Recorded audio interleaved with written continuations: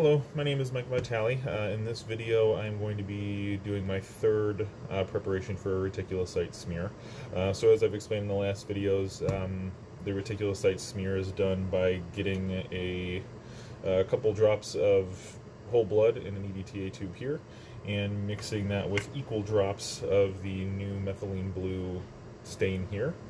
And then you allow the sample, or the um, you mix those really well, and then you allow the, the sample there to sit for about 15 minutes at room temperature uh, to incubate, which will give you then something that looks like this. This is a new fresh tube, and uh, these have been sitting for about 15 minutes or so.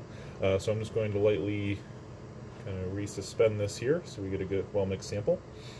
And then I will place a small drop on the spreader slide, or on the, um, the test slide, and then I'll use the spreader slide to spread this out. Um, so how this differs from a normal blood smear is um, typically we're doing this with these slides with anemic patients. So we usually go for a little bit larger of a drop on the slide.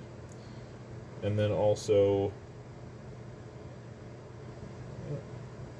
also I will hold the spreader slide at a little bit more uh, higher degree angle. So instead of doing it at like 30 degrees, I'll probably go more for like a 45 degree angle uh, just to make sure that we get a good slide or a good uh, spread here.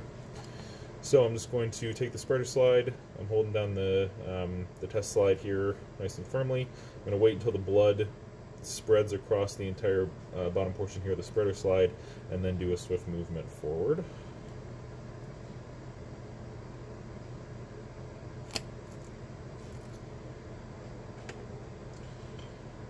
And so we can see here, if we kind of put in the light a little bit, see we got a nice feathered edge um, on that slide there.